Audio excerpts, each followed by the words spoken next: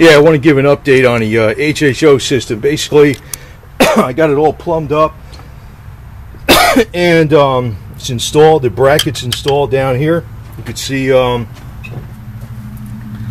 it's bolted up to the um, engine, which might be pretty cool because a little engine vibration. It's very solidly mounted. It's probably got about eight bolts holding it into um, quarter inch steel angle iron plus a 10 gauge plate. All those are lock nuts holding it down.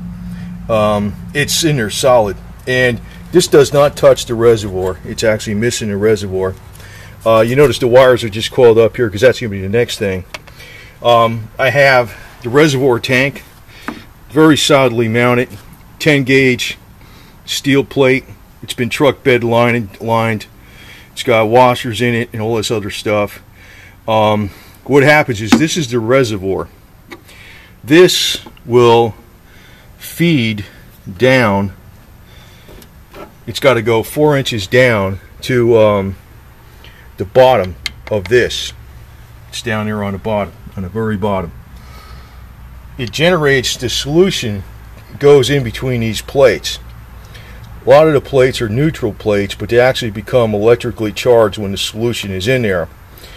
Um, I'll explain that later. Not every single plate has a wire to it, a, a positive or a negative ground. But the neutral plates actually get electricity because the elect electrolyte in there, which will go between the plates. It, it's it's probably a good design. This is actually uh, from. Um, let me let me find out. Who, I forgot who it was from. I'll post it on the end there. But um, then it comes out the top. Now this does not touch this. It's not even going to rub that.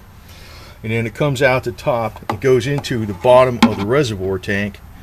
And then the electrolyte is in here. It bubbles through the electrolyte, comes out here, and then it goes down here through this pipe um, hose. And this just has plain water. This does not have electrolyte. Light. This has the electrolyte.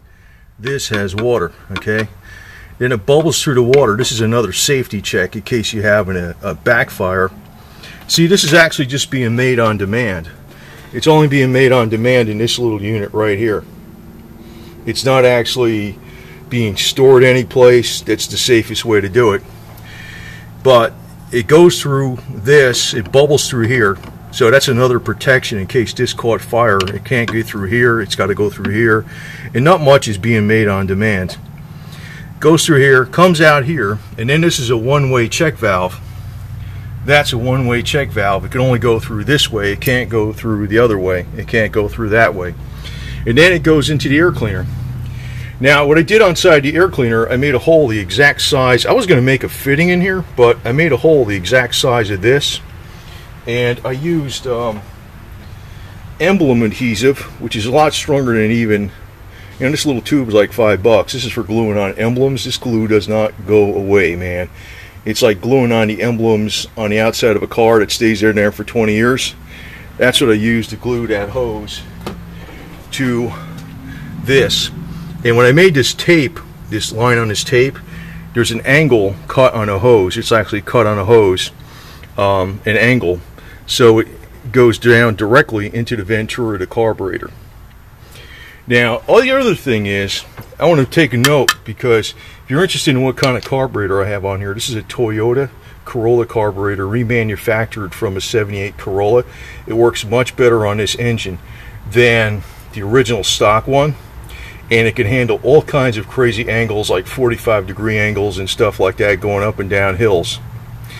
Um, it's a much better carburetor. But I also want to note that when I set this carburetor up, there's actually a rubber gasket between this washer and the metal and there's also a custom rubber grommet that's be underneath the air cleaner between the carburetor. It's totally sealed. So if I put a snorkel on this puppy later I won't be able to run HHO underwater I don't think but maybe I can I don't know. But if uh, I put a snorkel on it it will um, actually um, be all sealed. No water can get in there I want to just interject that on this video because I don't think a lot of people realize that super important tip when they put this Toyota carburetor on. There is a custom grommet I found on Amazon that you actually have to take a Dremel, make it a little bit bigger to fit, it will make this air stock air cleaner fit on this Toyota carburetor perfectly. So anyway, that's the plumbing. Again, goes out from the reservoir to the bottom of the actual electrolysis um, dry cell unit. This is a uh, 16 plate unit, which is plenty oversized for this little engine. This is a 1.3 liter. Comes out the top here, goes out through this hose, back into the reservoir, bubbles up through the reservoir electrolyte, goes out this hose, goes bubbles down, and this is just plain water. This is called a bubbler. And this is all on here with uh, 10 gauge steel. I also wrapped it with um, foam so it can't rub through the steel. You know, just in case it uh, it wouldn't anyway, but it, just in case. And it's sitting up on top of this.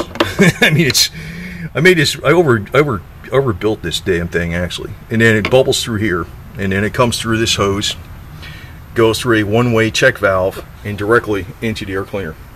So plumbing is done. The next is the wiring. And uh, I don't have, you know, I got it all figured out. I just got to figure out where to mount it. Um, but I'm going to show you real briefly. Of course, some of it's already wired to this, but I'll show you real briefly what that is because that'll be on the next video, and then I'll be running this puppy and um, uh, seeing what kind of mileage we get and test in the future. But let me just show you real briefly the wiring. Came with the kit.